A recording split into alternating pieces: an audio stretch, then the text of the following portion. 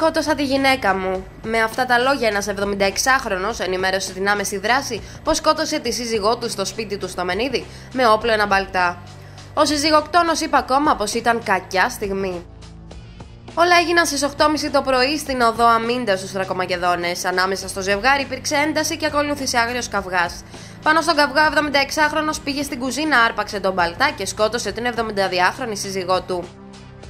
Ακολούθως τηλεφώνησε ο ίδιος στην άμεση δράση και ανέφερε τα εξής: Σκότωσα τη γυναίκα μου. Ήταν η κακιά στιγμή. Τσακωθήκαμε, πήρε ένα μπαλτά από την κουζίνα και τη σκότωσα. Το περιπολικό που έφτασε εκεί βρήκε τον άντρα στο περίβολο του σπιτιού να περιμένει τους αστυνομικούς. Ο δράστης παραδόθηκε χωρίς αντίσταση.